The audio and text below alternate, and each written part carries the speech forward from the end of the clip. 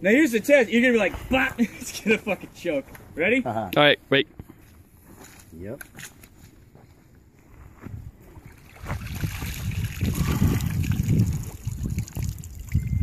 Gun is open, empty chamber.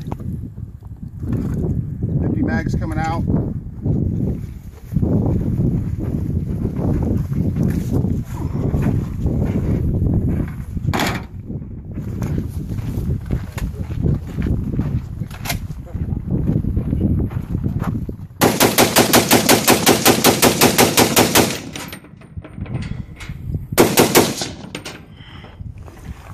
There you go. That's proof right there.